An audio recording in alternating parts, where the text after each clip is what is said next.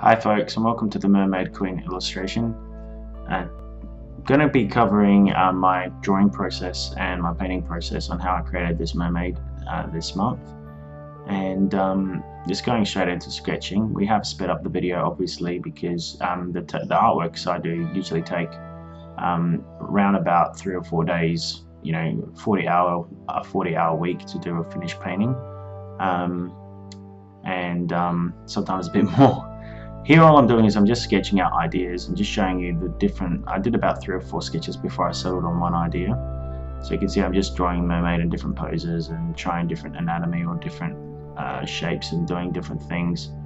Um, I started off with a placid design or more of a, I suppose, chilled out design, but then I went to a, I suppose, more of a defensive one, which is this one here, um, where she's holding a, a trident. And so I did a really rough sketch, so I just explained what I did. I started off with a really rough sketch of it, and as you can see, it's very sketchy. Then I went over and just decided to go in and, and really draw it very, spend time on detailing it out more and making it, I suppose, correct in the drawing stage because it's really important to get your drawing right with anatomy and with, with I suppose your design, you know, because if you get your design right at the start, it then makes it a lot easier to um, to paint everything because if you've got basically your drawings like your container and um, when you go to final color if your drawings right you don't have to stuff around with the anatomy you don't have to stuff around with anything fixing up things or making things better. So the way I draw is I do a really rough sketch as you saw before of this of this um, mermaid with a trident and as it was really really bad and you know it didn't, didn't look good. Then I trace over the drawing that I've got and I look at references sometimes and I trace over it and I'm and I actually um, perfect the line work and I and I and I basically um, improve it as much as I can. And that takes a bit of time in getting used to you know the tra whole tracing method. And people go oh you're cheating because you're tracing but in actual fact a lot of people do work that way um, when they're creating illustrations because it's kind of like you just you're just redrawing what you've done but you're improving on your drawing skills and um, you know you never really get your drawing right from the start. And a lot of people they think oh no if I can't get it right from the start it's not good you know? I'm not a good artist. Well you know um, that's not the truth. A lot of artists have known to trace their own drawings or or even references and then they use that to then create their painting from. But um, in this case this was my idea my drawing of a mermaid and I just went over it and, and I just you know I suppose I added more fins. Like when I trace over I added these nicer fins as you can see cleaned up you know so you can see me there making the fin a little bit more dynamic adding in these Doric ruins or ancient Greek ruins in the bottom there as well sketching that in. And of course this is sped up so you know it took me a while to kind of perfect this line work and make it better. And then I and I, and I obviously obviously tracing over your over your initial rough, you can actually improve your face and your, your, your details of the character's face. If you don't like it, or you need to fix up lips or eyes or a nose or a mouth, and that's a benefit of having an underdrawing or something that you're tracing over. A lot of the animators at Disney and a lot of people that do animation and stuff, they actually um, even concept artists they draw in pencil, blue pencil. Even even when they're doing it with traditional media, even if they had no light box, they would draw with a blue colored pencil and you get your under that'd be your underdrawing and then you trace on top of that with a we draw on top of the blue pencil and, and finish off in, and actually do the final drawing. Because blue it wasn't seen isn't seen well when you scan it in.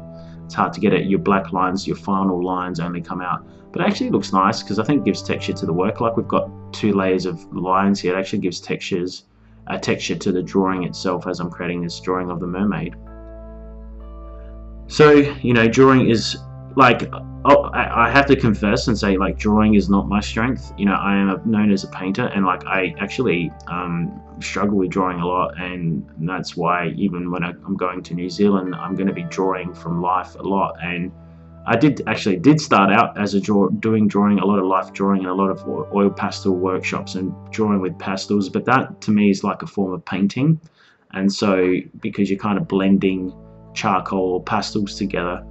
It's, it is kind of a style painting, although you're using a pencil medium, it kind of is like mimics paint in a way. So, you know, I'd recommend always drawing in your sketchbook, you know, whatever tool you use, Surface Pro or Cintiq Companion. And, um, yeah, so and I, I just stick to traditional media as much as I can, um, although I am very interested in other tools as well.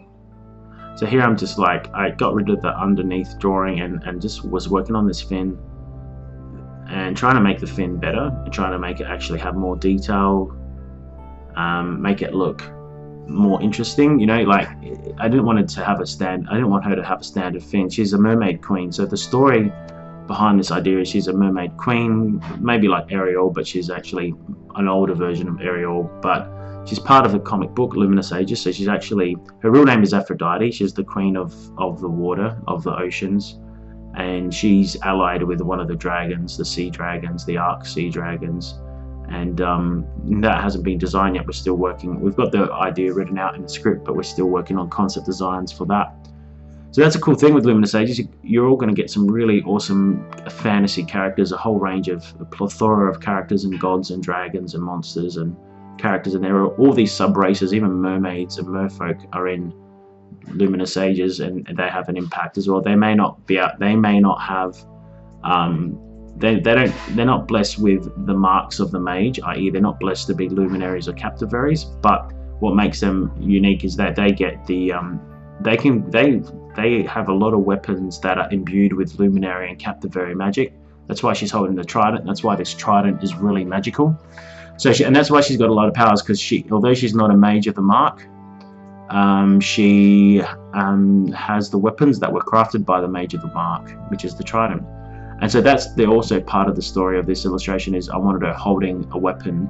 Not she's not really attacking or really even defensive. She's kind of just chilling there, holding her staff. But the whole story that that's why we've I've drawn it with a trident, not because it just looks cool having a weapon or whatever, but also because um, it does. Now here I'm putting the divine proportions grid up, and I'm scaling her face so that it actually sits right bang on the the focal point of the divine proportion. So if you have a look at that grid that was just up then, um, I advise you pausing this and, and looking at it because um, this goes so fast you might um, need to pause it sometimes and and that's the benefit of having a video you can pause what I'm doing and actually you know re rewatch a section or what I'm saying and, and that will hopefully help you but anyway um, the um, yeah as I was saying that the focus is her crest you know she's a queen She's got a magical item, so it's imbued with magic, and she's quite beautiful and, and a stunning mermaid still. She does look very uh, fish-like, you know. Anyway, so I was really happy with the pencil at that point. You know, I was just really happy with that design. I really liked the way the fin works. Um, the fin worked, and I liked the trident. I like her head, her headpiece. You know, I wanted to. I didn't want to make it just you know this pretty female face, you know, that looked human, totally human at the top. I her, I wanted her to be very creative, and I wanted her to have, you know, a fish, a fish, you know, still a, a human face, but a crown that was fish-like. You know, it's, it's, a fish fin on her head. You know, um, and that's just part of me being crazy with my concept design. So all I'm doing here is I'm blocking in the color, the base color. And so I went in and blocked in her, and I put the color that she was blocked in was a light blue and all I did is I just simply um, blocked in one color and then put that in a separate layer. Make sure you always put things in a separate layer because um, what what what you do by putting the actual um, artwork in a separate layer, the color, you're you're able to then work on the actual mermaid as by itself. So you can have the pencil and the actual color layer of the mermaid together. And you have the background in a separate layer. So as you can see I've switched off everything I've switched off the mermaid there and you saw the background color there. So that was really cool. I wouldn't say cool but it's you know it's it's if you're going to be doing character art or even anything really that you want to be spending a lot of time on, if it's not just a rough concept, I really recommend separating your layers, separating your focal point like your character or your architecture away from your background. Because that's really important because otherwise you're going to kind of be doubling up on your time. You're going to be, ah, like say if you paint this amazing piece and then you're like, uh-oh, you know, it's all in one layer. I have to fix up the anatomy on that horse you're kind of in a bad spot. you know, you've got to repaint that horse on top of all that other work that you've done. Or, I mean, you can save out a selection, or you can drag and copy around and cut out a selection, but it's still it's gonna it's gonna take you time to fix it up. So this is why I always, when I'm painting, I always do it in um, layers. Now, if, as you can see here, I didn't go to grayscale in this. I just went straight to color. I was really confident that I, I wanted to explore color with this. Um, I must say the end result I think looks good. I think it's a great, great piece. Uh, a lot of people have been liking it at comic conventions, and it has been a really popular artwork. Um, and the color is great, and I'm, I'm glad I did go to color first because that's what sped it up. However, um, I'm still, you know, for my portfolio and submitting this into studios like Magic the Gathering, I'm going to tweak it again because I'm just a really fussy person. Um, and not just that, you know, the, the colors that I've used have been eye-popping colors because this is what draws my fans in is the is the really saturated colors and it's obviously what draws a lot of people to my art is this this great contrast and these sat overly saturated colors but when you're creating artwork for say clients like Magic the Gathering when you look at the color palette and this is exactly what directors have told me from Magic the Gathering um, and, and lead concept artists um, they basically have said you know you've got to you know, they said to me my work is solid, but look at, you know, you might have to change the color, the, the temperature, you know, the contrast and the temperature in the work. You know, maybe it's a little bit too saturated, or maybe, you know, the blues are too blue. You know, make can you put more darks or desaturate areas? And and that's because it's a different market. You know, if I, you know, that with Magic the Gathering, you're looking for a different kind of film. Um, and you know for as an art pin-up poster it's it's going to have a totally different aesthetic as well because if it's too dull and just looks too grey if the art is too grey it's not going to draw people over at, at Comic Con and people are, I mean it's not like that people aren't going to buy it but it's going to decrease your chances of people wanting to purchase that work and for me that's also an important part because I want to please people like you my patrons who are always happy with what I do. And I'm also also open to you know people's suggestions as well. So if you do want to see work that's less saturated, I will do that as well. but um, you know, so it's just that's when I started out doing this mermaid. I just went straight to color, and as you can see, I'm just getting all sorts of colors, all sorts of blues, and playing around with the blues and the greens.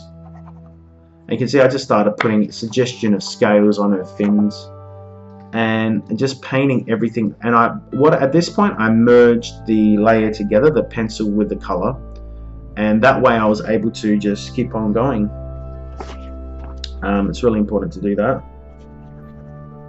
just keep on going a lot of the time a lot of times people you know they lose their momentum or they lose motivation with their work you know you know I, I have been prone to that but what you've got to do is you've got to actually put your paint down, start blocking colour in, and eventually your work will come together. So here I'm just blocking in the boat, that the sunken ship that she's sitting on.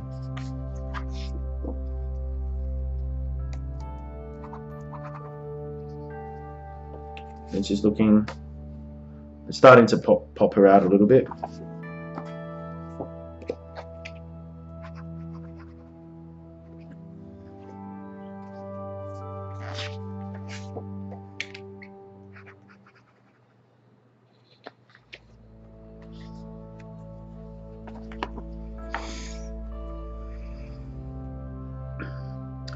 So, you know, I, I actually got some reference of what it looks like under the sea. You know, what is the water like under the sea? And it's good to look at that.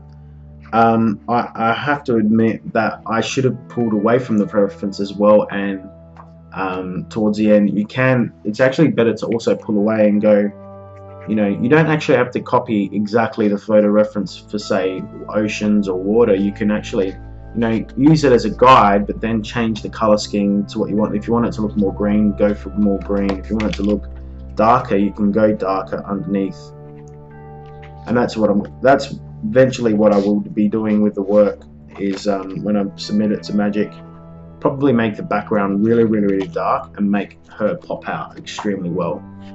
So you'll be able to see the mermaid really well versus a dark ocean but you know, this is the thing. Like when you are working under the pump, and we and I had this literally only had a work a week to kind of do this. You know, in and out of conventions and and kind of back and forth. You know, art good art does take time. So sometimes it takes a couple of weeks to do the work. One week to do the work and a week to review it. You know, a week to kind of give yourself more time to, for reflection to go back to it. And this is why I prefer sometimes I prefer to do um, book covers or, or illustration projects. Even if I did do stuff for Magic the Gathering, I would like, you know, I'm pretty sure they'd give me two weeks to get something done. You know, they'd have edits and changes, and and at least if you've got two weeks per illustration, or if even if you're working on three in a busy studio like mine, we sometimes have had three projects on the go. Um, or I've had three projects on the go, and so I have three paintings I'm working on at once over a period of a month or four, even four paintings. So you could say, oh, that's one painting a week. But if I get the whole month to do the four paintings, I can once I finish one painting, I can then uh, once I've got one painting to a really good point and I give it to my client to review, or I'm sick of looking at it and I can't see the errors in the painting, I then jump to the next painting, start on the next concept for whoever it is, or the next book cover. And once that's done, I get to submit that for review, and then I'll wait for the other artist, other clients get back to me. And then once I look at the painting again with fresh eyes, it's the painting I have. I can go then approach it and attack it in different light, and fix up any errors that were popping out, I suppose. And um, yeah, so all I'm doing here is I'm starting to add shadows to the mermaid. I'm adding in all sorts of stuff, so a lot of scales um, I'm suggesting scales here. I'm just putting light. And I suppose more more so what I'm doing here is I'm suggesting where the light is. As you can see, I've got a bit of light hitting her, the top of her cheekbone, the top of her nose, the top of her ear, and just start to suggest color. And if you saw before, I started to suggest red color in the hair, and I didn't like the red. And then I said to myself, you know what? I'm going to do pink hair. um, and because I know that sounds a bit silly, but you know, I, I reddish pink hair only because um, I like fiery red hair or pink hair, whatever it is. So I ended up going for this pink, pinkish kind of red color, a deep pink, only because it worked better for me, and um, and that's and it gave contrast. It draw it draws attention. You can use color to draw attention into a focal point. In this case, the focal point is her face, then second the staff, right? So when you look at her face, um, having red hair really draws your eye into her face and her that she's the status of her being a queen and then your eyes led into the staff and then you see the rest of the painting. And that's that was pretty much why I went to red hair instead of the blue hair at the end. Because it creates a focal point it creates visual interest contrast. Got pink and blue also another piece of advice that I have for you all is in this painting, I've got some greens and suggestions of orange colors there, um, but they're just very desaturated oranges. They become very brown at the end, or they become less saturated. My advice is if you're going to use, say, primaries in your color, in this case the primary is blue, like a cyan, there's a very strong cyan there. The other um, primary you use, um, you know, is the one I use is pink or red we'd say it's the pink, and they're the two they're the two colors that are contrasting with each other. But never use a third primary unless your painting is like a crazy Alice in Wonderland garden with pink, red, yellow flowers and green and blue, and it's a multicolored environment. Um, when you start using three primaries in a painting, the problem is the biggest problems you, you have with three primaries is competing for attention okay? Your subject you'll be competing for attention in your subject subject matter. And that's why I specifically went for pinks and blues and a touch of green and no yellow. So if I added yellow to it then say if I added yellow to the staff then the staff would really be competing for attention versus the the, the trident versus the mermaid so just a tip for you um, if you do have to use the three primary colors in your painting be careful. as you can see there, I grabbed an underwater version of an, a Doric, a Greek Doric, and I dumped it in and did a color balance on it, and it fits, and it actually fit really well as the photo. I did paint on top of that in the end, and I did a cutout filter to give it to to make it look less like a photo. And then I painted on top of that and made it look more textured. So, and, and so as you can see, I'm painting over the photo, so it looked like a painting, not like a photo. And I just scaled that down. I made it very small. It's just to suggest that there are some Greek ruins in the background you know or you know Roman whatever you want to call it.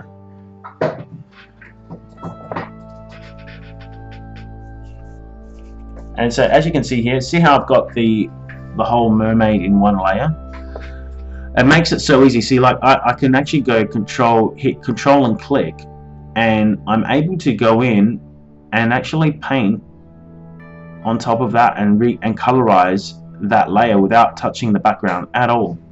And that's the benefit is when you start colorizing and detailing everything which this in this case I'm putting pink in the hair I'm not putting pink in the ocean because that can be a really big problem. If you got pink back in the ocean you're like unless there's light reflecting back there um, you're going to have big problems. So it's a really good idea to make a clean selection of your character, tidy it up as you go, make it clean and crisp, and that way your uh, edges are, are nice and hard and defined, and they're not, you know, you're not basically painting into the wrong area.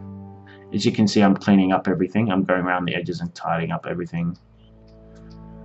So really, all I'm all I'm doing at this stage is just rendering and placing things in. Like just rendering. I'll, I'll move that Doric around and um, I'm just painting as much you know hair strands as I can as much info as I can as much detail as I can and, and literally this is all digitally painted so apart from the suggestion of some architectural things that we I use some photo reference in it's all painted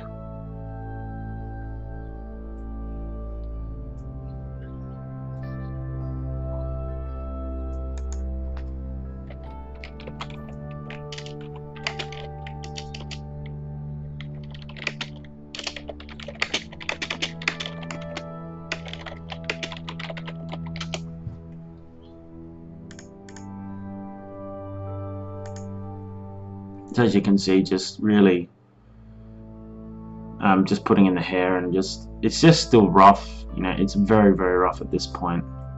But I'm, I'm starting to work out the light source and where, where does the light come from? How do the, all the forms work? The good thing about having that pencil totally finished I didn't have to change anything. All I'm doing now because I've got that pencil uh, fixed up there's nothing wrong with the anatomy there's nothing wrong with the design. All I'm doing now is I can now focus on rendering the whole thing, you know, and that's good. That's why it's, it is important to draw. And I sometimes, a lot of times, I do draw all my designs, but sometimes I just go straight to blocking and paint, painting in with environments. But I think with characters, you really need to draw, and you really need to get your drawing right, um, refine the drawing, trace over your drawing, clean it up as much as possible, because that saves you time. You know, this could have taken two weeks if I didn't get the anatomy right, if I didn't get the um, face looking good. You know, all I really want to do is now to it, like I said, is the only thing I'll do for it for my portfolio is adjust the the focal points. You know, adjust the lighting in it, and not the actual mermaid. There's nothing wrong with her, anatomically speaking. You know, when I showed it to some friends, they said, "Yeah, it looks really good." You know, anatomically, there's nothing wrong with it. You know, and I like to show art to colleagues and other people in the studio and friends, only because it's good to get another opinion on art, on, on ideas and stuff. It's always good. So yeah, just keep on. I'm, I'm rendering, and I, as you can see that in that corner, the layer is called the mermaid layer. I've got the layer for the ship, and then I've got the layer for the background, the ocean. I've got the actually the background has a pencil drawing, and then it's got the color for the suggestion of the color in the background.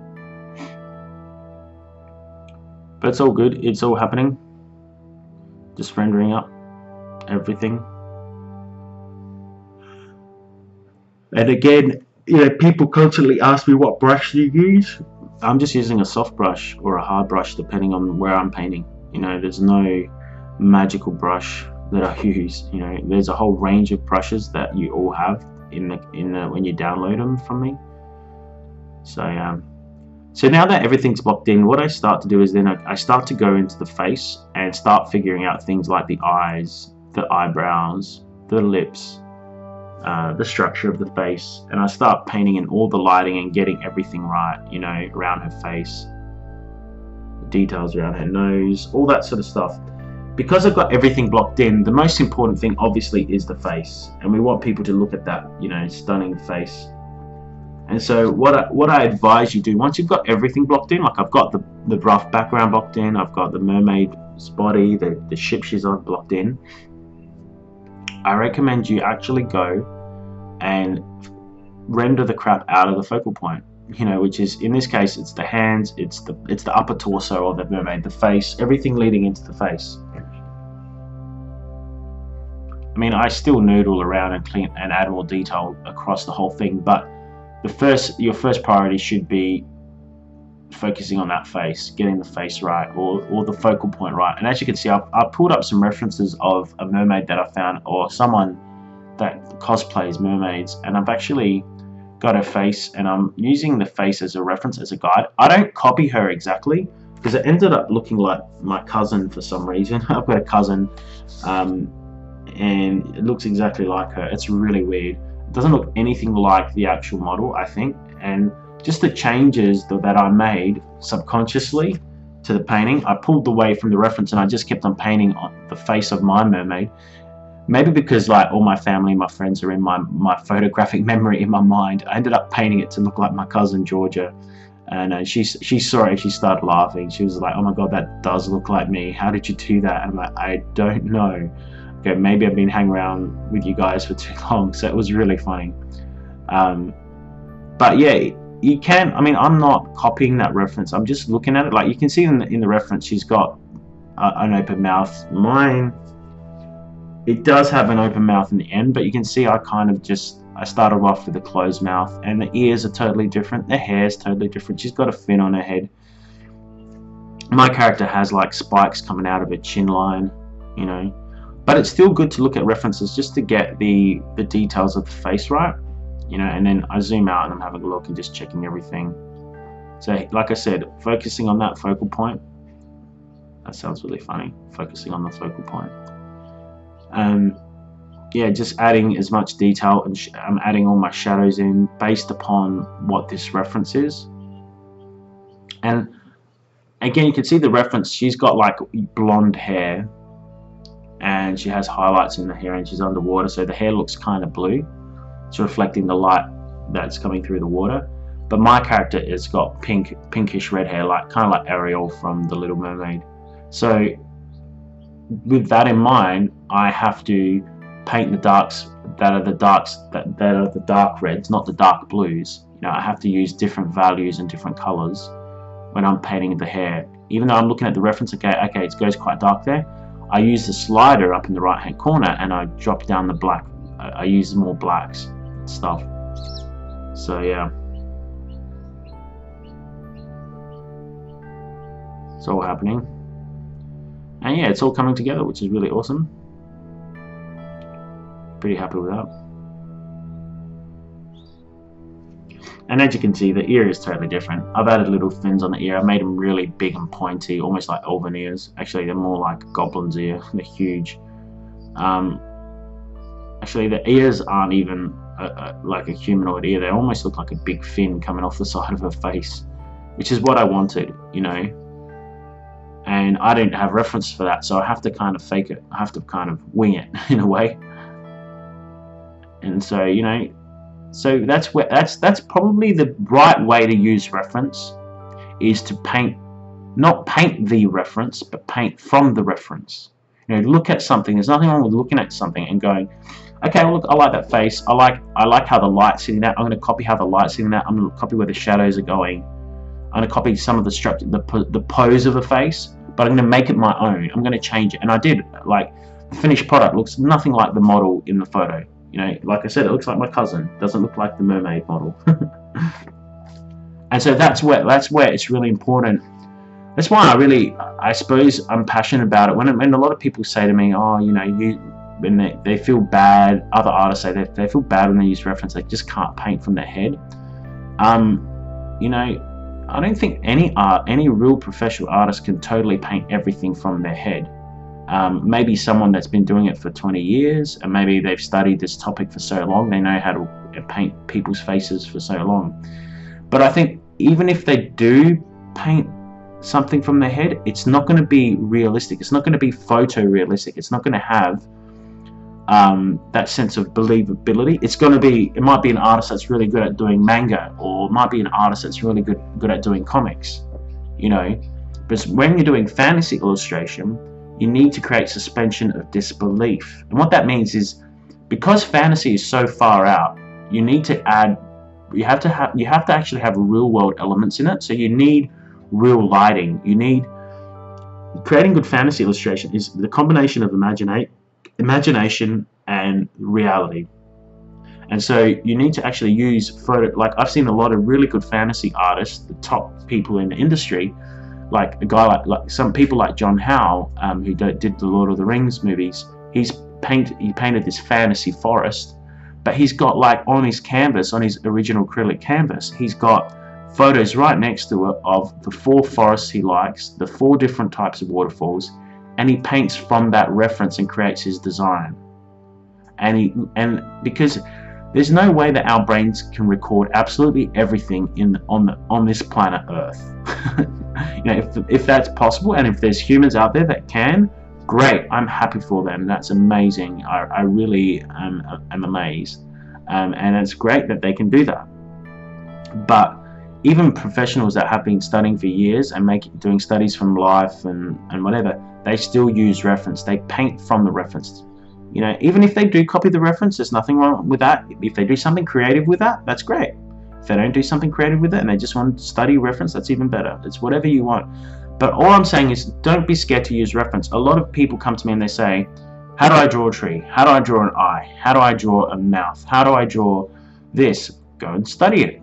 You know, unless you um, don't know how to draw a dragon, I mean, even a dragon, you can study how to draw a dragon, look at how other artists paint dragons.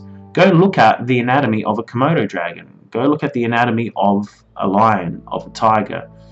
And so, and the same with this, when I was painting this fin, I was looking at the anatomy of fishes. I actually had pictures of goldfishes up, goldfish up in my thing, and I'm going to provide all those refer you get all those references. So you can see I actually looked at the goldfish fins and how they worked and at the end of the, the painting I actually made like the fins look translucent you know so that they kind of had this you know this translucency to the art.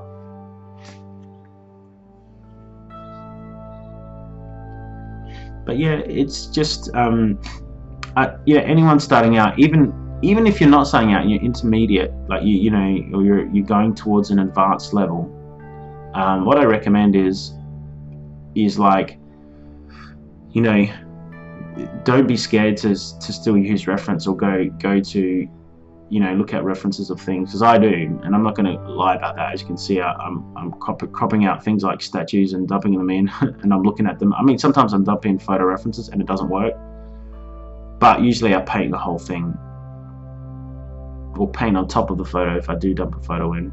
So here I've added another Doric a few Dorics in the background and I end up painting on top of them and blending them into the scene so they look more painted.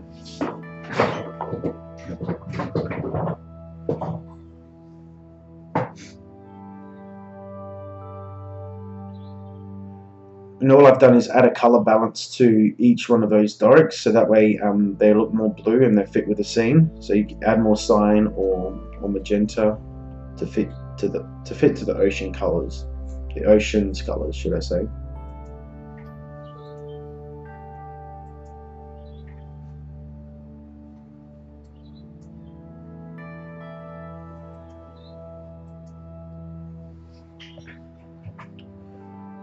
And at this point I also darkened up the background. So I, I, did darken up the background. It still wasn't dark enough because I ended up doing some other things to it that made it look um, still bright in the background with all the effects. So yeah it just darkened up the background. That way she pops out more. Because she's the focal point. And just adding more shadows to her, I'll go back and paint in the mermaid layer and just added a lot of shadows, highlights. Where does where do the light where does the light hit the fins? You know, where does the light hit the shadows? Uh, you know, where do the shadows, sorry, the light don't hit the shadows. you know, drawing in scales as well, suggesting scales that you can see. I started at sketching in the scales and I did that with the smudge brush actually. I just smudged the dark into the light area and it created an effect. Actually started to look like scale, little fish scales, which was interesting.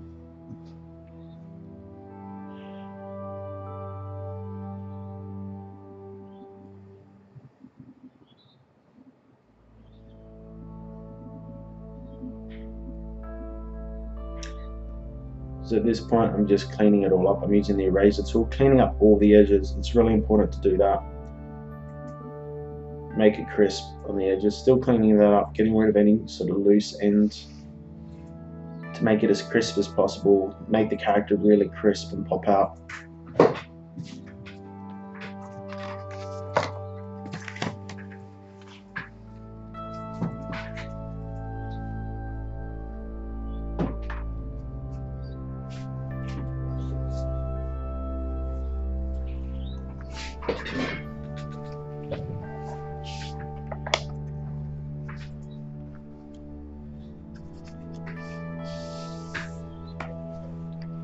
So back to the face. Once everything else got a bit more detail, then it's a matter of pushing the focal point again.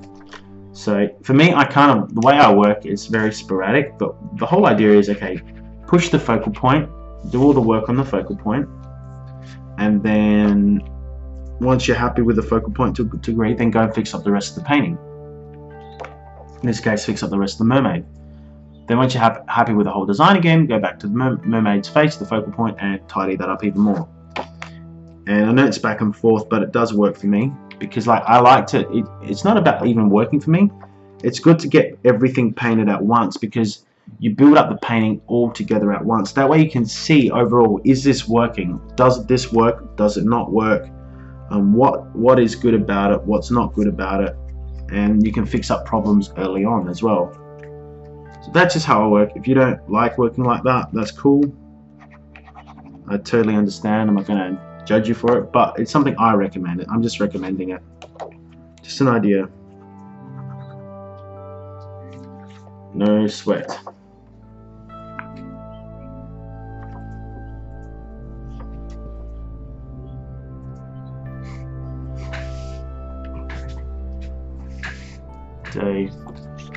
Just rendering her up. I added like um, gills to her cheek cheekbone, so she's got like gills where she breathes in. And I added in a whole bunch of you know shadows around the upper torso, the focal point.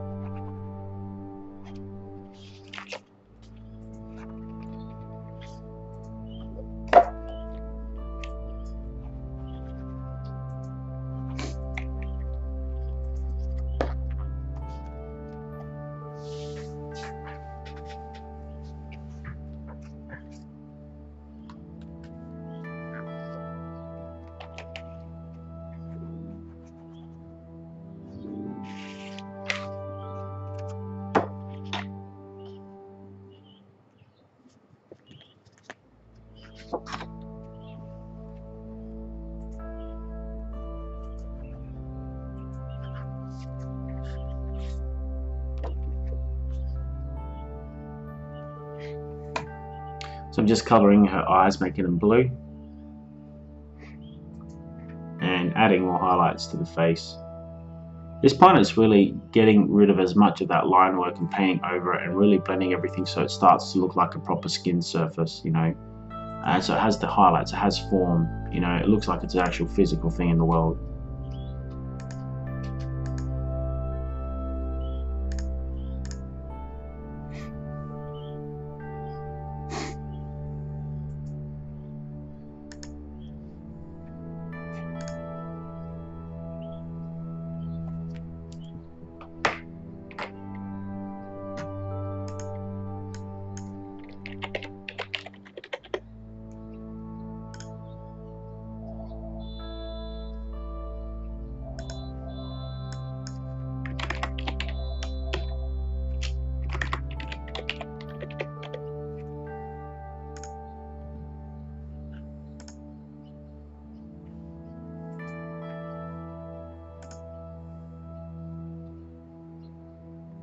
This point, just more, more adding more details to the hair, texture to the hair.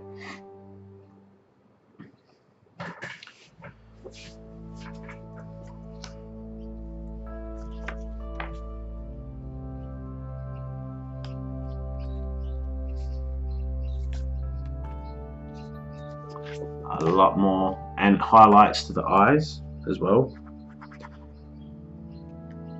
so you have your you know white highlights so that way it looks more lifelike.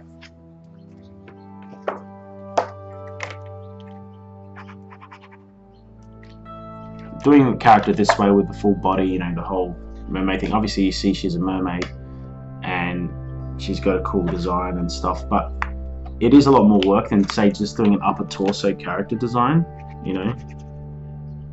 Um, because you've got to really get everything right. If you have a look here I start painting, painting in the fins and I'm actually looking at the goldfish. How do their fins work? I like goldfish. I think they look really nice and pretty.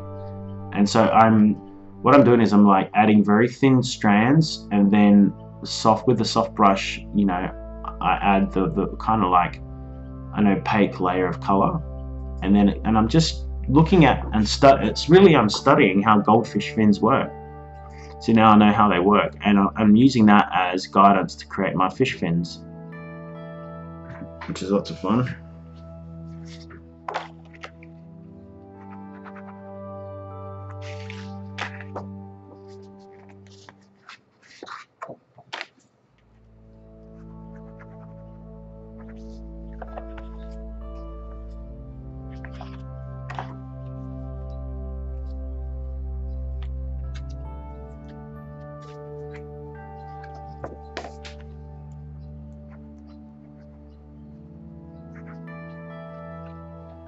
So just cleaning up the hands. And it's good. I did use the reference again of that mermaid model.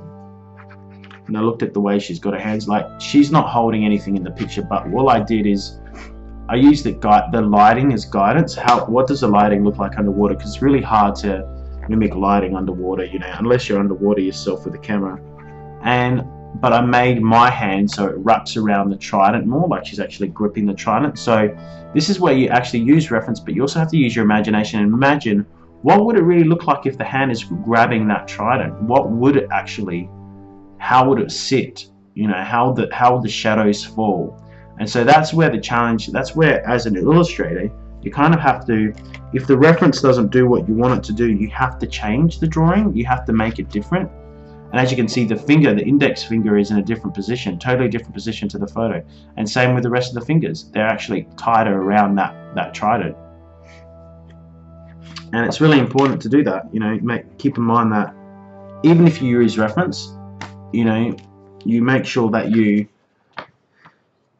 um, are comfortable with changing it. You know, like can you paint from reference and, and like even if your hand is only half, you know, say if you've got your hand and it's halfway closed, can you still paint, use that reference and paint your hand so it's fully closed or three quarter closed? And if you, and that's that's actually a skill that's in itself trying to do that, get getting that right. So here I'm making sure the selection's working, going into grayscale mode as well.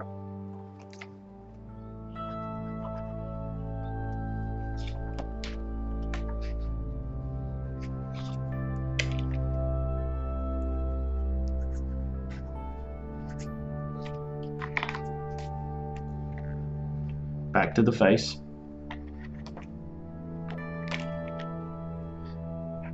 And faces, because the face is a, is a focal point, it's really important to really push it as much as you can, the lighting, make it pop as much as you can.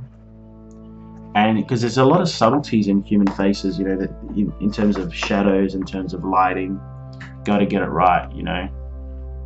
So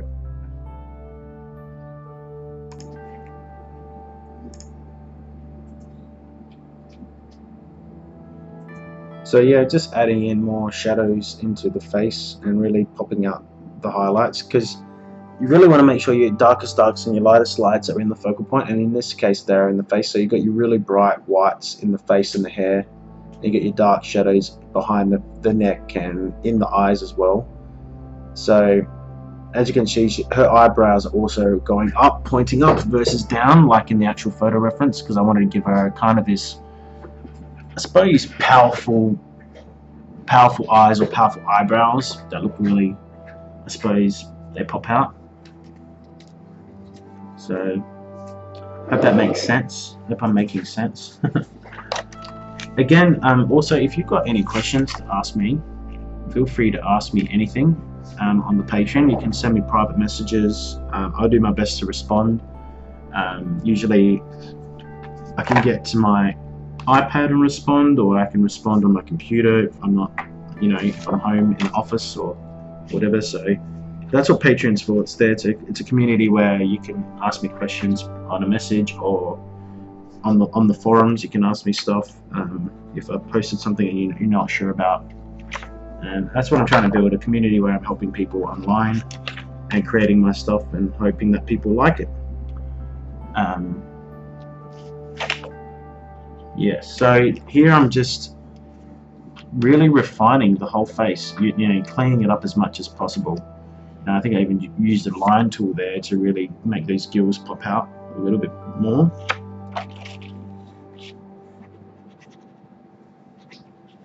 Lots of fun.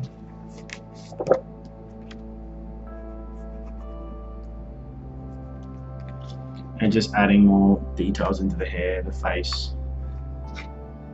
More strands of hair is always good.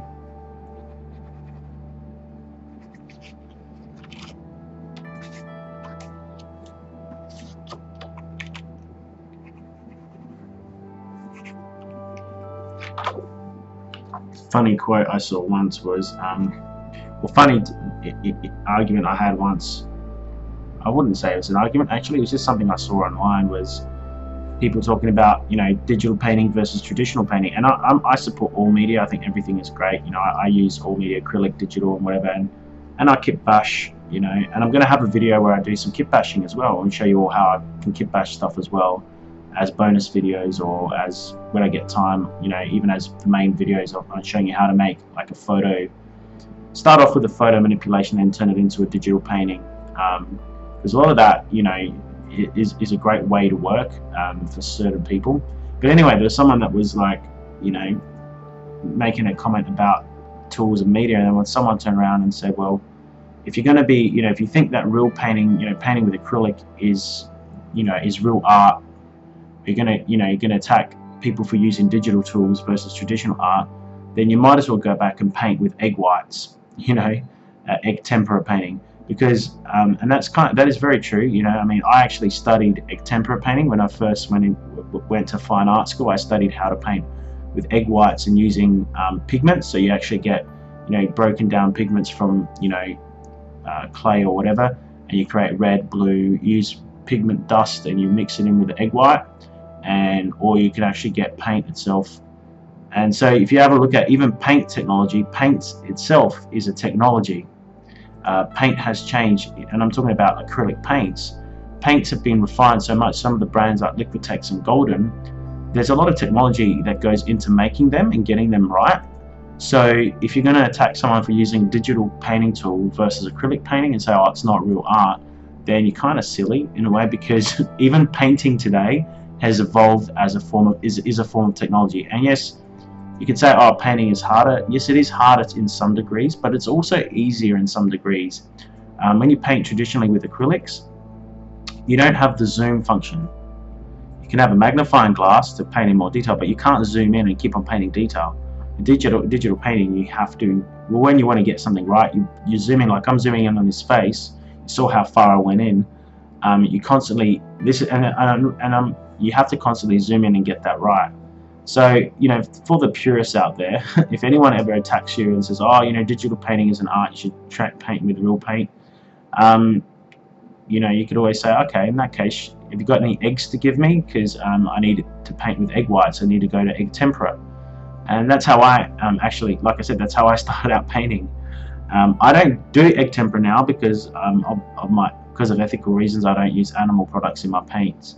Um, and but but it's that was years ago when I was young you know when I was 20 and, and before I was considered the environmental impacts but um you know all I'm saying is you know all tools are great you know they all have their strengths and weaknesses and and all techniques have their strengths and weaknesses you you know, and don't feel ever like, you know, I would say don't just stick to using digital media and don't just stick to using traditional media. Use everything. You know, that's that's my philosophy. Um, and I and I often do sketches. I doodle in my sketchbook when I can, and I do traditional drawings, as you all know, for Patreon supporters, and and I I just sketch in my sketchbook for fun when I'm free. You know, just I don't show most of my sketches. I'm not really some there's some sketches I'm like oh, no one's going to see that ever, because it's always a worry. You know, you always sometimes you have this self doubt, but you know, it doesn't mean you don't keep on trying and practicing. So, what am I doing here? I'm just going in and um, painting everything as much as possible.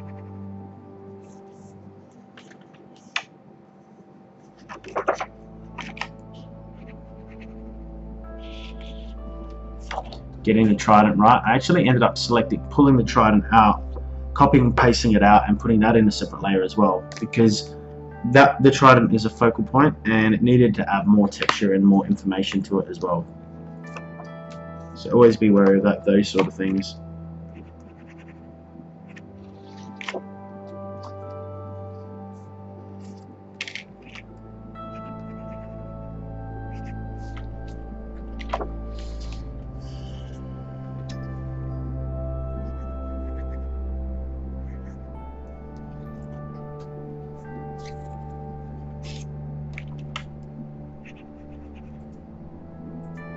Just making sure that that look the trident actually looks sharp and has a hard surface. Here I'm actually look. You see me looking on the internet. I'm actually looking for um, photo references of tridents because I'm trying to get ideas from it. I ended up getting. I found this awesome reference and I ended up dumping it in here, but I ended up photo kit bashing it and painting it into the scene. So you don't know that it's a. I mean, you can't tell that it's a photo, but I actually grabbed the edge of the trident, the actual spiky bits, and I copy and pasted them in and then painted on top and blended it into the whole design. And that was really cool because it gave me like it allowed me to really I suppose make up my own version of it based on the photo reference. I don't recommend always doing that but in this case I was really stuck for ideas. I was just like hmm what can I do? I can keep on drawing and, and coming up with different ideas but I was just like no nah, the trident needs to be a bit more interesting than it is. And so yeah it ended up looking cool in the end. I was really happy with the trident because uh, obviously the trident is, you know, in Luminous Ages, it's it's an artifact that is imbued with the magic of of the luminary or the captivaries. Um, and I can't tell you how it's done, and I can't tell you what the magic is about because you're going to be able, you're going to read about the magical powers. By the time where you start to hear about Thrakos's powers in the, by the end of the first issue, um, and then you'll start to see the powers coming being released in the second issue and the third issue of the comic the comic is um, is getting there. We're just really pushing all the pages out, and also I'm really editing. I'm working with my editor to make sure the wording is better. Um, I, I write. He's he actually says my writing style is good. I just need to. He's obviously fixing up grammatical issues. And part of that problem is the reason why there are grammatical errors is because I am so busy painting and creating the concept art, the world, and coming up with the ideas. Sometimes I just I rush the editing part. I don't prove my own work enough. But that's all good. That's why you hire an editor, and that's why you hire people to help out on the project. And he's Anthony L is an amazing editor, really great guy from Melbourne, um, extremely uh, great to work with, and was recommended to me by um, one, a really great comic book writer in Melbourne called Paul Bedford, who created a, comic book called The List, who's actually which is actually being sold off as a movie. Um, the film rights have been sold off, and he's you know so working with really having really amazing people around me that I've become befriended and have and, and give me their, their, their, I suppose they, they connect me with really cool people that help have helped them has been amazing. And it's part of the journey of, of doing freelance is you meet amazing people after a while and and helpful people as well that you know can guide you and stuff like that. You make a lot of friends yeah, so as you can see, I just copied and pasted, you know, the pearl from that trident, the, the little ornate metal thing things that I'm painting on top of them, and really cleaning that up. And it's all painted in a separate layer, so that way, if I did screw it up, um, I did make an error of it. um, I I can then fix it up. I can then cop, cop, delete the the new one and put back in the old or paint that. I don't ruin the hands because obviously I, I got those hands were looking really good. Got a lot of details in those hands. Got looking really nice.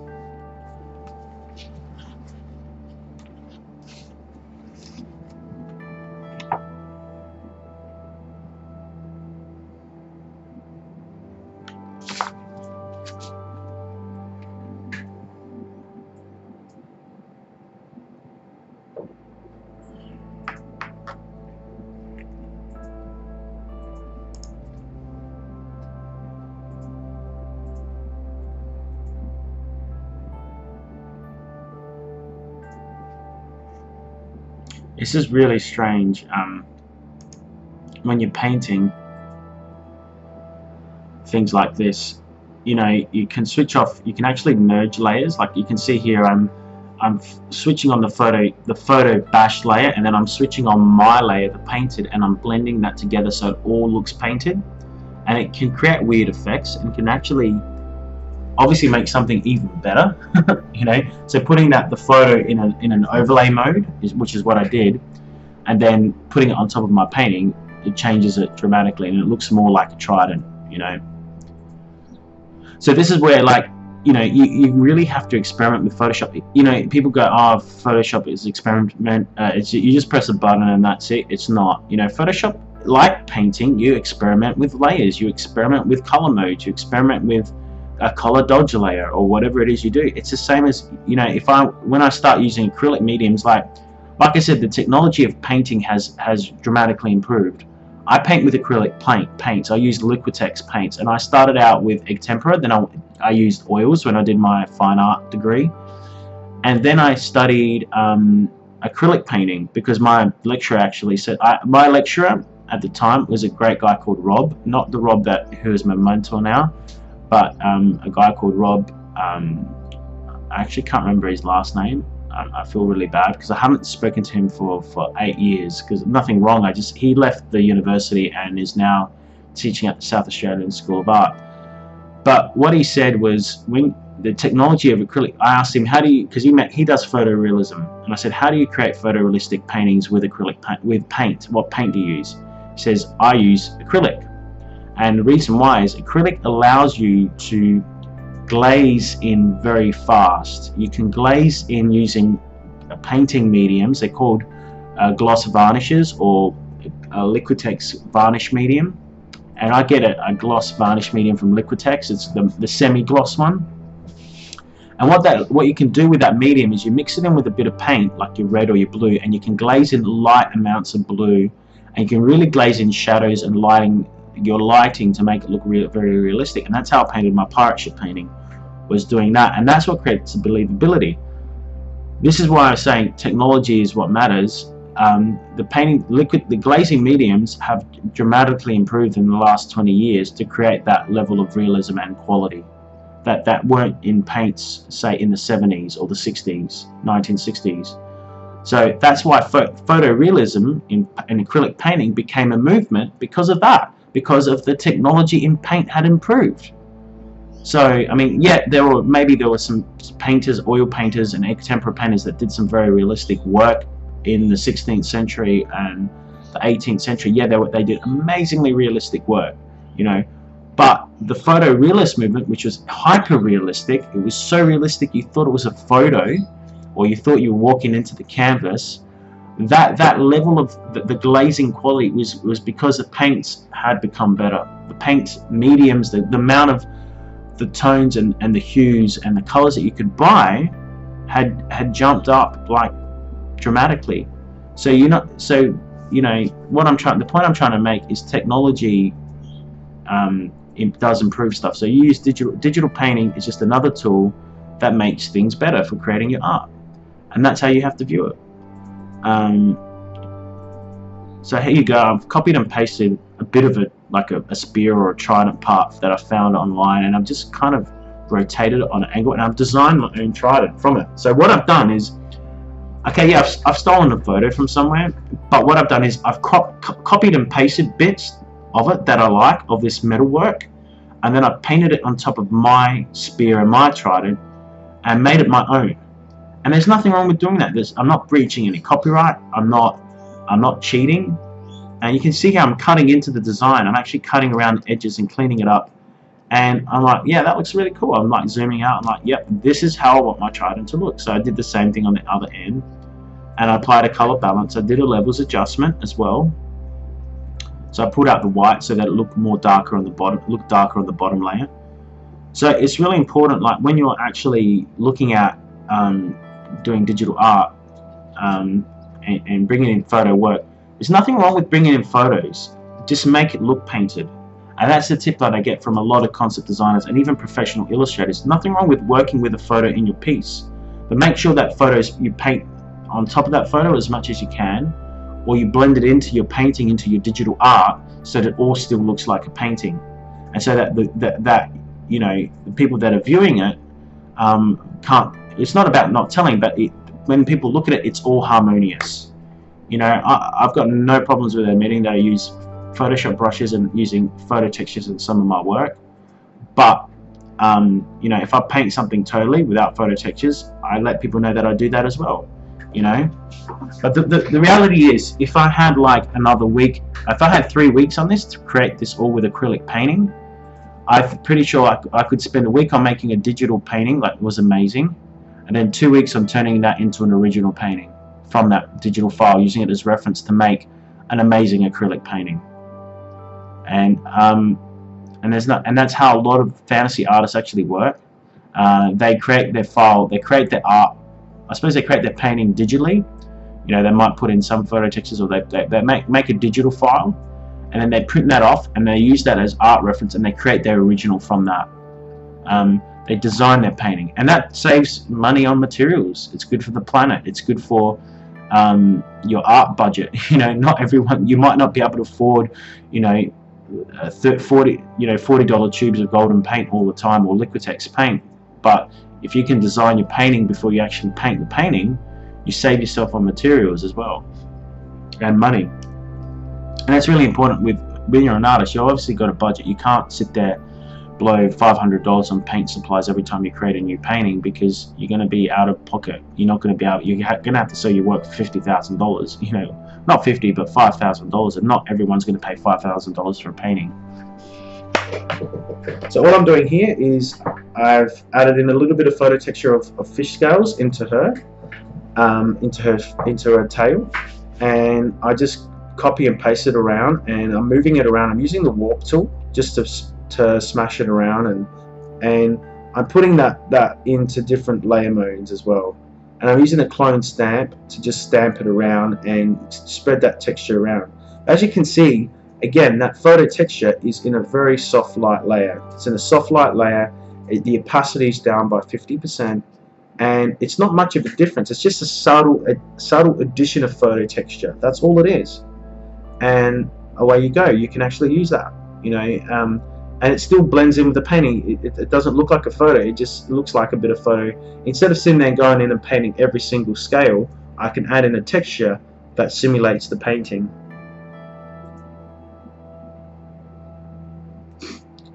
and this is my gamut warning you really got to be careful this you can go and you can go to view and view your gamut warning and here you can actually see that the reason why I actually have to change the color mode for my portfolio is because the gamut warning, the RGB mode, the blues are very highly saturated and so the problem with that is when it prints it doesn't look exactly like how you see it on the digital file. Um, it's very close but the problem is um, you, you, in Photoshop you can check your gamut warning and, and I did adjust it but you, it still needs, even now that the painting's finished, it looks pretty good as a print but I'm still for my portfolio and to submit to the big studios this piece when it's finally done I'm gonna have to go through do some gamut warning checks. So that's under view and go to gamut warning. And the gamut warning what that tells you is it tells you where is it too saturated. Now are the color uh, are these blues too saturated? And it gives you a warning of how what areas are going to not going to appear are going to be blown out. Which areas are going to be like overly saturated? Like overexposed like with a camera when it goes to printing. And so you really need to always be considerate of that when you're doing your painting. Very important. I risked it with this one, and it does work as a fine art print, as a pin-up poster. It works having the gamut warning way off and having the saturation very high. It's an art piece that really stands out to people when they see it. And like I said, we've been selling a lot of it, of the work, and, and people like it. But um, yeah, at the end of the day, it's just like, well, what can you do? you know, you got to risk it sometimes, and you know, it's all like I'm still learning. You know, this is why this is the thing about I love about art, and this is the the attitude you have to have is that art is a continual learning process. You know, even me painting this painting, I'm I'm pretty good with understanding anatomy now and character design, and painting creatures. I'm, I'm, i suppose my focus is creature design and environments. That's what I, I really am good at, like with the Cheshire Cat and monsters and dragons and that. But I'm constantly learning. You know, still learning about you know, each painting, this one I learned that, you know, if you have uh, cyans that are too saturated in paintings, they're not going to print up properly. And it worked in some of my environments because I had a different hue, I had a different type of cyan. There are some signs cyans you got to really be careful of, and they blow up. They blow up, and they, I wouldn't say they blow up, but they're so saturated that you lose the detail in your painting when they print. You actually, it looks like an overexposed photo. So that's something that I learned on this painting. You know, I already knew about all the stuff, but you, you, you learn by experience. I only learned on the experience of painting this piece of art, painting an artwork that's under in, in the ocean underwater with this character. So when you when you're creating art, you're not going to know everything straight away, and you just got to be patient and take time and learn by experience. You know, to get better and better. Here I'm just painting in the shark, blending in the shark a little bit more making it look more painterly, putting more, I suppose the I'm just using the mixer brush to make it look, everything look more, I suppose, painterly, blend things in together. The mixer brush is a great tool to, I have usually have the load on 3, mix at 19% and about 20% on the other setting, and I use the mixer brush to kind of blend things together, you know, and paint and, and smash it all together blend it all together, should I say. using the word smash a lot today, I don't know why. Because I'm smashed up, just came from AMC Expo, I'm tired, so I'm, I've been smashed around on the planes. Um, extremely exhausted. But it's all fun. It's all in the name of fun. Yeah, so we're getting there. I think, you know, we've only got we've only got um, really the detailing process to go on this. Just you know, adding more fish, adding lighting, adding effects, detailing things up. This is me fixing up the shark, playing around with different. All I do is the painting of the shark. I've just gone in and changed the blend mode on it, and then painted on top of it.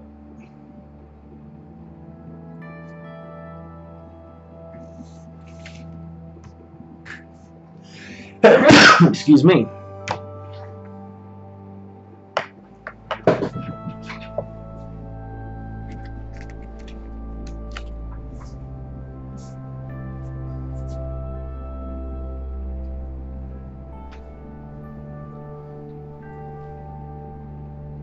So yeah, just a lot of um, I'm fixing up the background again because the character's really well done. It's now time to go back to the background and to the ship.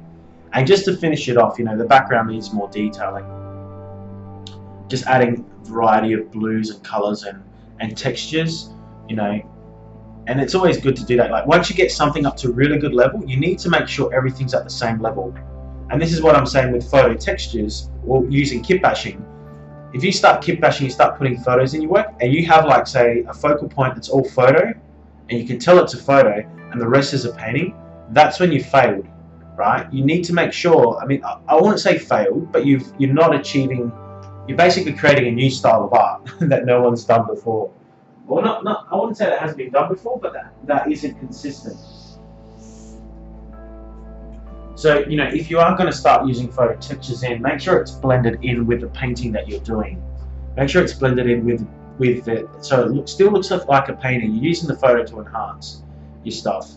And same with photo Photoshop brushes. If you're using a really textured brush, you know, make sure you get a brush that looks like like painting strokes, or it looks like, you know, a texture that is is not a photo collage, you know, or something like that.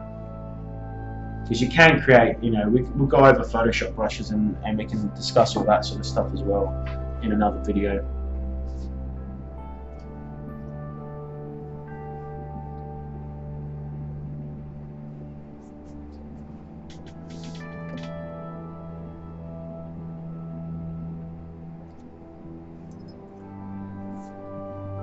So now it's just adding more detail to the work. And what I do is I've got the saturation layer, just checking that things are okay. Got it in grayscale mode. The saturation layer allows me to see, um, I, I, dump a black layer on top and I put it on saturation. It allows me to see, does it look good in black and white? That way, just that allows me to check the values, you know. When you go to, you know, it allows me to fix things up. So here what I do is I grab another fish, I grab fish scales again, you know actually and I dump them in in the soft light layer above and I start texturing in, in fish scales all over the, the mermaid itself which was a fun part.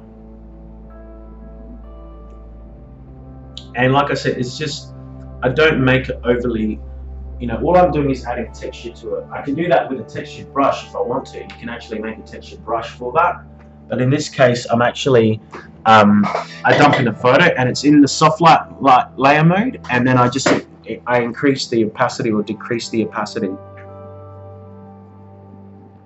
But it still looks like a painting you know?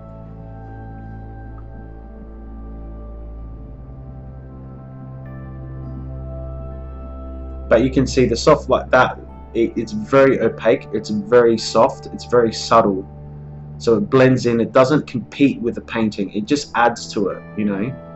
It gives it that texture. You know and then I think I deleted it for some reason or I deleted something.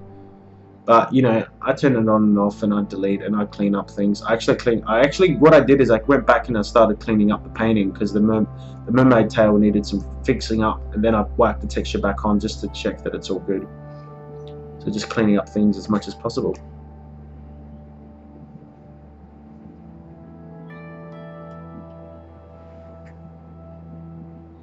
And here I'm doing, you know, because I studied goldfish tails, now I'm knowing my, because I, see the thing is when people say to me, oh, or, or people say to other artists, you know, up and coming artists, or do your studies, don't create portfolio pieces, or don't create finished art, just do focus on studies.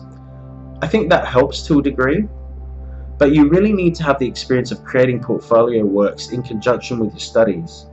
Um, like this is a portfolio piece, I would say, but but I was doing studies while I was creating this. I was looking at the way goldfish tails work, right? And as you can see, that those the tails, I created I created a hard line or a hard paint stroke, and then I had the soft strokes around it that that created a translucent fish tail or, or fish um, scale look. And so I actually, um, I, I, I did a study while I created a portfolio piece. I studied how fish tails work, you know, in my portfolio, you know. So, you know, I could have done a study on a fish, but instead I looked at the way fish tails work, um, you know, how to make a fish tail look believable, and I applied it to this portfolio piece. And I'm not saying don't just do studies, definitely do your studies, but if you want to create a portfolio piece, you know, if you've got time, I mean, I didn't have time. I just kind of did it as I went because I'm, I'm pretty fast now that I now I've got a, a really good speed up. But there's nothing wrong with if you're creating a portfolio piece, do a study of fish or look at the way you know. Look at if you're creating a, an environment, a, a fantasy landscape. Go study how rocks work. You know, study a rock in your painting. You know, it's still a study. You're still if you're painting from reference, you're still studying how things work. You know, and and this is where you know I've talked to other professionals and people that have worked for big studios, and they said, yeah, we do. Some of us do do our studies like that. I don't have time to do study much studying myself. I read books about art.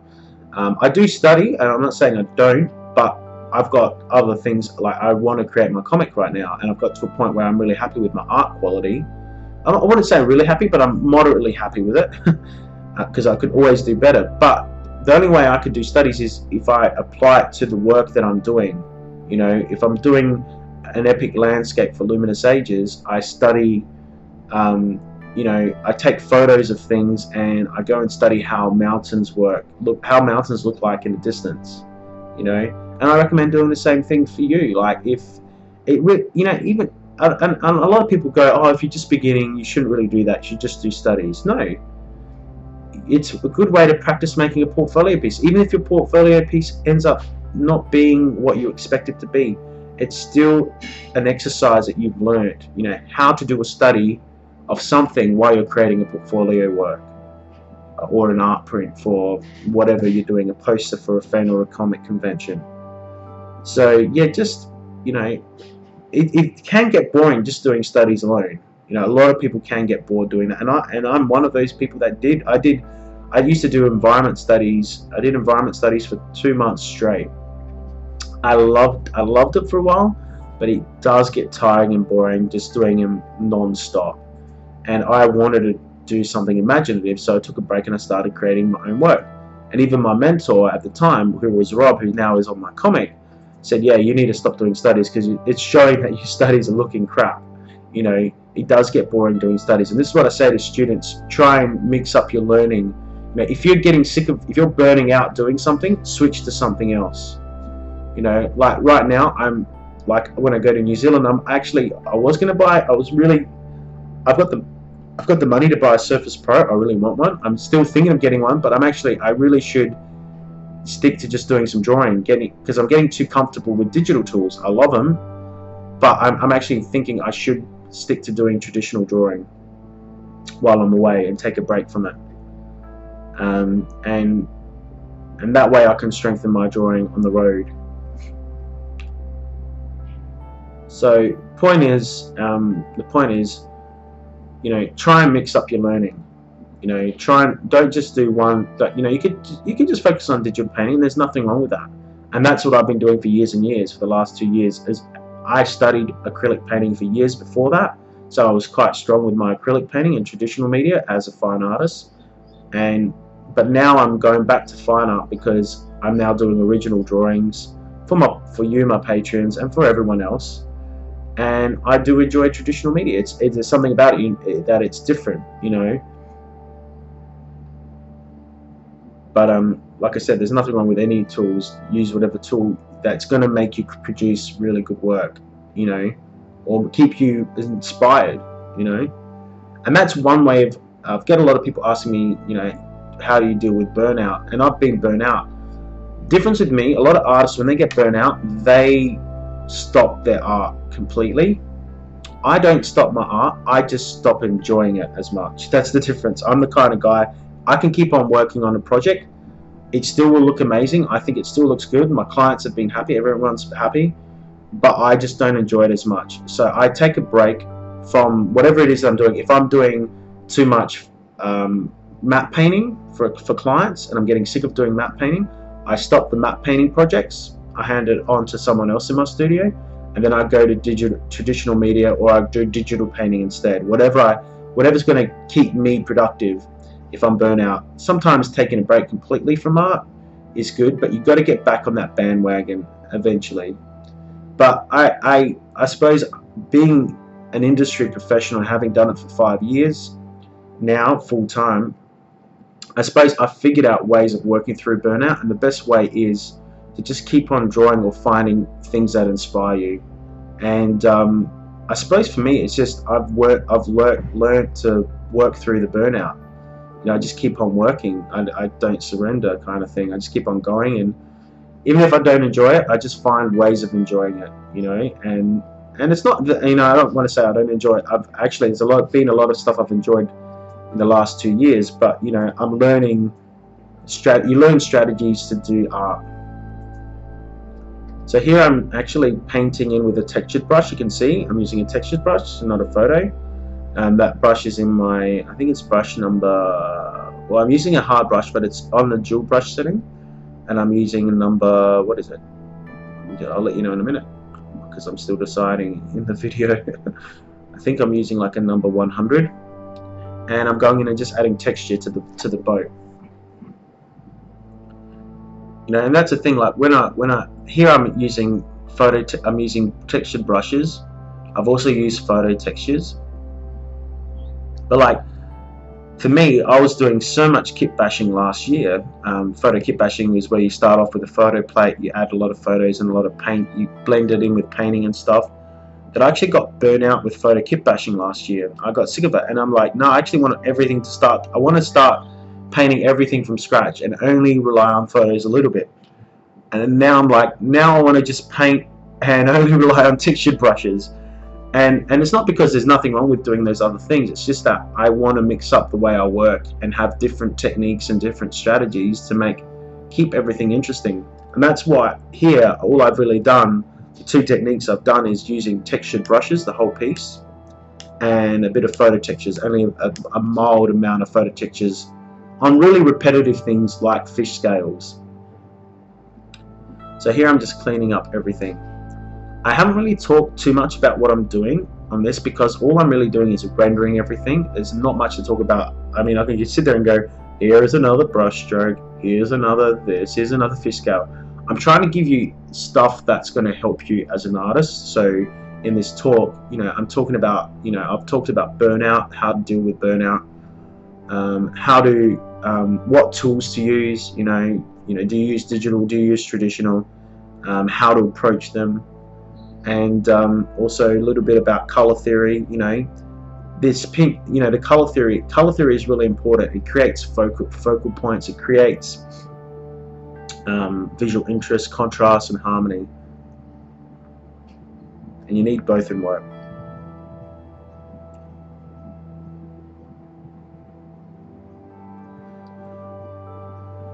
So as you can see, I've even um, I'm just going around tidying up everything. I'm adding more hair strokes, like hair, uh, fine hairs to her her beautiful long pink pink red hair. I should say dark pink hair. And I'm doing that with a soft brush. And I'm just adding in more fish scales. I'm adding in highlights to the fish scales. I'm painting that in and duplicating the layer, just seeing how things work, you know, in different settings, scenarios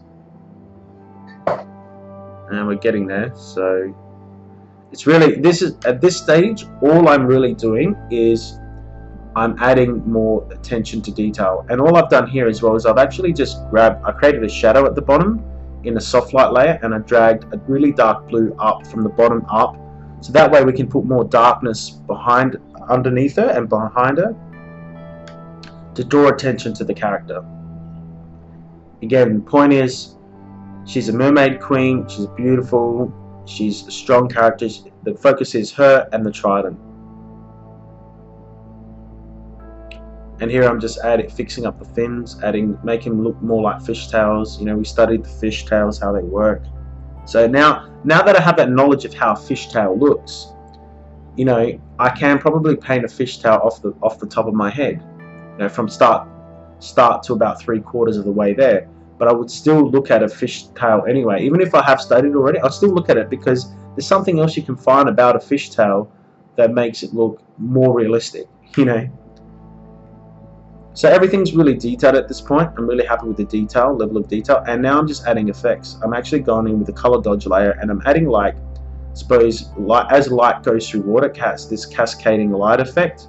I'm just adding that into the painting now in the color dodge layer behind the character.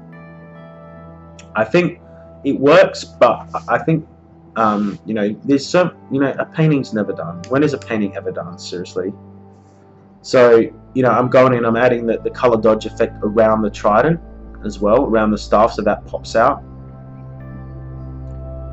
And you know this is now it's like it's at the point of no return. And what that means is no matter what you do to the painting, people aren't really going to notice much of a difference. They're not going to go, oh, it's you know, it's a totally different piece. At this point, you're just adding things that people may like or they may not like, and it's just really subjective.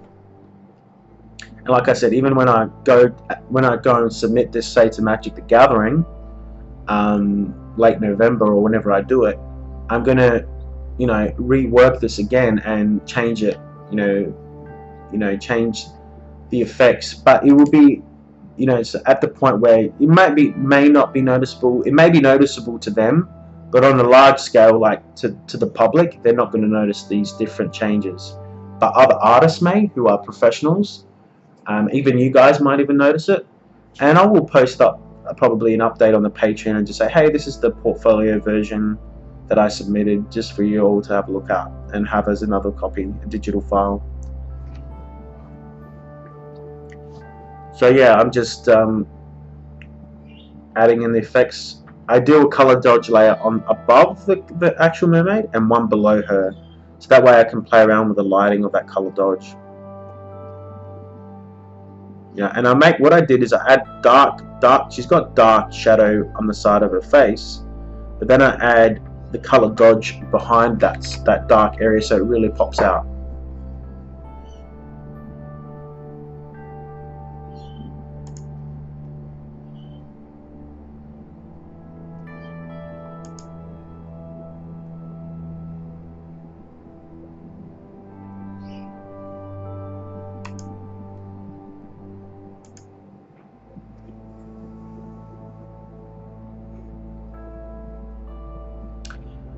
All I'm doing is adding detail here. So I'm finishing off the mermaid it's pretty much done. This point the painting is pretty much completed. I mean all I do is add I added a color balance layer at the end and a levels layer. And you know I played around with it until I was happy with it. And I just and I'm just switching it on and off and just checking that it all works. And I'm just painting all I at this at this point I'm just noodling the details. I'm just refining the details making sure that you know everything looks really good you know just cleaning it all up. You know all the there's no kind of weird marks or weird um, things happening in the piece. You know cleaning up every single hair stroke and all that sort of stuff.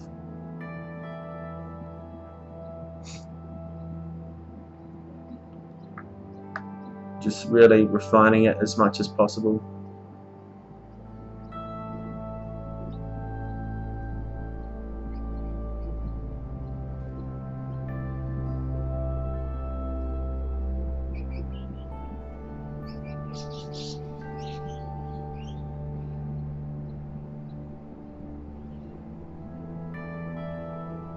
know it's just it's just really refining every edge every detail. Everything.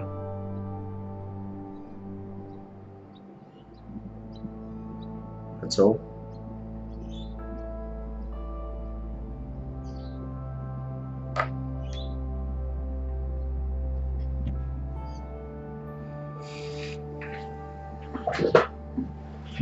and, and, and I'm always checking the values. Even if I've finished finished the painting and I've done say I do a color balance adjustment or levels adjustment I then I switch on that saturation layer the black and white layer put on saturation mode and I just check it. You know does the character pop out? And it does. You know I was pretty happy with that.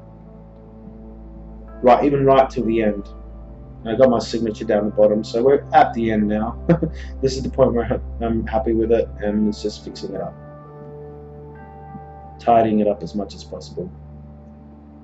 This is the OCD part of me. The OCD artist.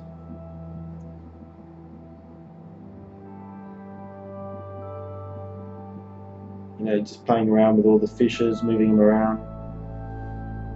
That's why it's really good to have everything in different layers because you can still, even if they're painted in a different layer, you can still move things around. You can copy and paste them and duplicate things and paint, play around with them as much as you can.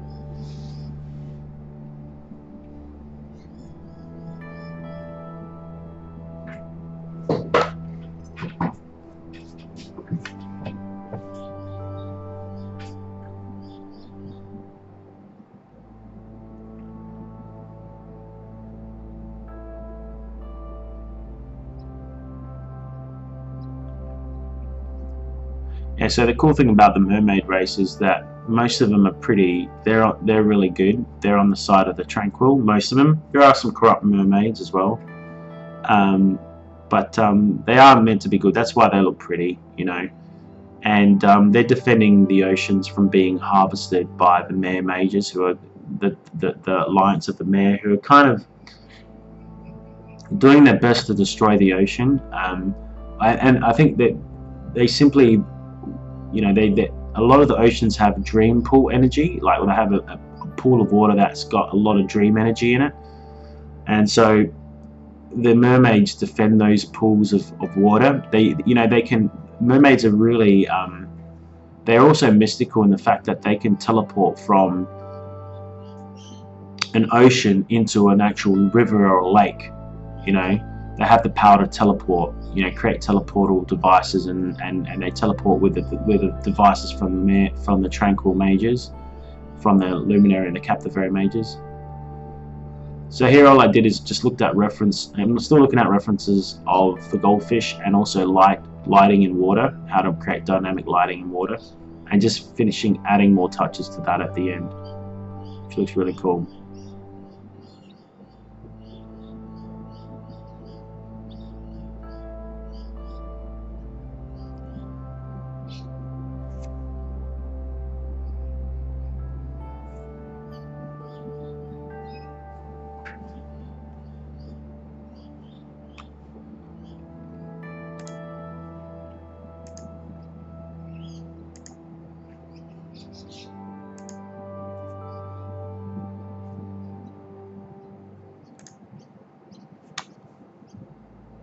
And that's it guys. I think really um, nothing much to say here. As you can see it's just playing around with it at the end adding more details to the fishtail making them look more luminescent transparent. As you can see I'm studying that. You know I've studied how to do a fishtail in this and how to paint that in and hopefully that helps you. You know all I've used is a soft brush to create that make it look like a proper fishtail and um, as you all know, you are, as I said before, you're all welcome, you know, to ask me questions. I don't, you know, on the Patreon. If you're a patron, you're supporting me on Patreon. It's my duty to help you out. My duty is to guide you all and give you some tips and advice. And you can even ask me stuff about, you know, Luminous Ages, um, how I'm creating it all, um, anything really, as long as it's not too personal. Um, but yeah, anything to do with art, happy to help you all out with it. And um, you know, you can send me a private message. You can leave a comment if there's something I post and you you know you want to ask about it. You know, you can just leave a comment on on the post on uh, Patreon. And you know, I mean, I may not get. Sometimes I can get to it straight away. You know, and if I don't get to it, you eventually, I'll eventually get to it. You know, every three or four days, I try and look at my Patreon and just check. You know, there's no comments there and try and respond to people as soon as I can.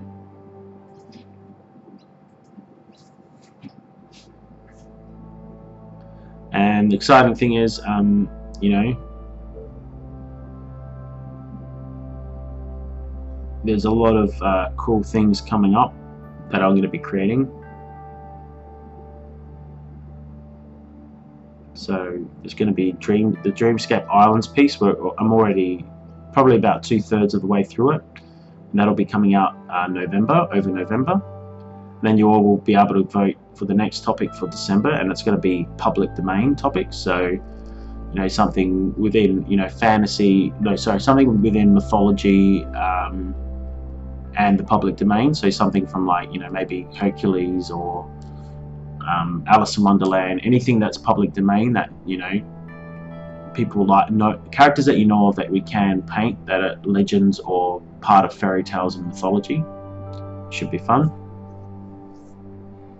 And so all I'm doing here is just last minute effects, you know, adding in a hard light layer, creating more lighting.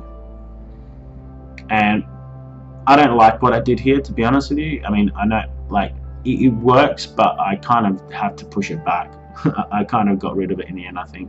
I kept it, but I, have decided I'm probably going to have to work, change it a bit more. But it still looks cool. It's not bad. It's just, you know, like I said, art is never done. You always can add more to paintings.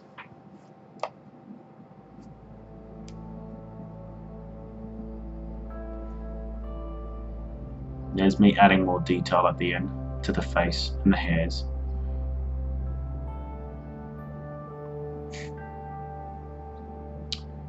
if you also one thing we're doing also is if if um, you have any recommendations even for the voting topics um, we, we, I will take in some recommendations just as long as it's not um, something that uh, is already copyrighted. But if you want to send me a message or you know can you put this as a voting topic? I don't see why not. Um, as long as it's something from fantasy horror or mythology or you know I'm happy to consider it as a topic and include it in the next um, in topics as well. Um, and it'll obviously be dependent on it, whether it gets in is dependent on demand, you know, and that's why we need to increase um, the Patreons because um, that way there's more people voting, there's more chances of things being voted in, you know, and we're going to try and limit it to about 10 topics a month because that way there's a better chance of um, the topics being picked, you know, the ones that people like. So at least if there's 100 people and one topic gets picked, well, if they say there's a thousand people and you know one out of the ten topics gets picked, at least a hundred people are going to be happy. you know, um, I don't think people are going to be dissatisfied, but at least it gives more chances of people um, getting a say in what they want.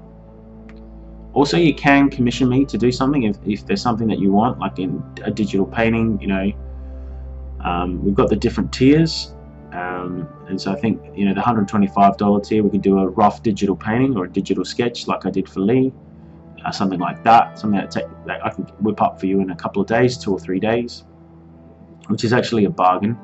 Um, and we also have the um, cameo appearance. And and so if you want to even if you don't want to have your cameo in the comic or you want even if you want the cameo appearance isn't just for your face? If you want to recommend um, you know if you want someone else to be drawn into it or if you want to have you want to be you want to create a character you know a character like a dragon of some sort that has a cameo in the in the comic we can do that as well. We can tailor it to whatever you have in mind for the comic. And preferably it has to be fantasy um, because it's got to fit the, fan, the theme of the comic. Um, but if there's like you know you for 225 if you want to go okay can you do um, a weapon. You know, can you make Thrakos have a staff? He, he, he, for one page, he has a new staff that he tries and it breaks. You know, I'm happy to do that. Um, I think it'd be cool. Uh, just to get you guys involved and, you know, give you all the exclusive content for that.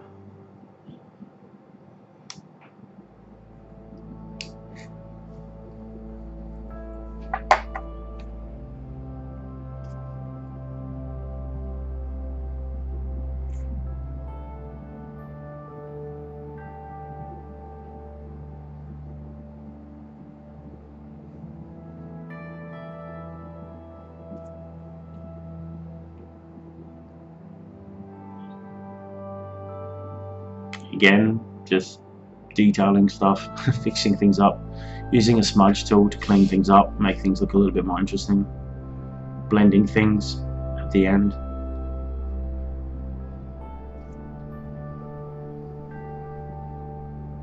Yeah I, I suppose the only thing that I would do to this you know like I said for for a different version a darker feel or something for a portfolio piece for to submit to Magic the Gathering, the only thing I would actually do is, like I said, go in and just change the, the mood or the lighting. Like not actually add any more detail to the mermaid, but just change it so that things look more darker around her and she pops out more, even more.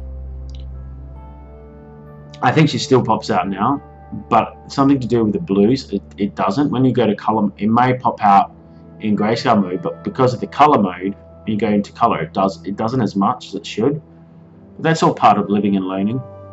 And um, like I said, everyone will still get a uh, get a digital copy of the update, any updates that I do to any of the work. That's why you're all Patreons. you get all the exclusive stuff. But anyway, um, I think we're at the end now, so it's all done. I want to thank you all again for subscribing. Uh, it's amazing to have you on board. I'm so glad we hit the $500 milestone. Everyone gets to vote yay! And um, as long as we keep above that $500 milestone, we'll keep on doing the voting. And um, I'm, I'm pretty sure we've got like three more conventions left. I just come from Melbourne. So more people that come on board, it's going to help. It's basically going to allow, as we hit, when we get to $1,500, if, if we can if you can spread the word to your friends, um, when we get to $1,500, it's going to be more content, more concept art, and more stuff. So thank you so much. Um, I hope you like this painting. Spread the word, and um, I wish you all the best on your art. And see you on Patreon. And feel free to ask me any questions. Thank you.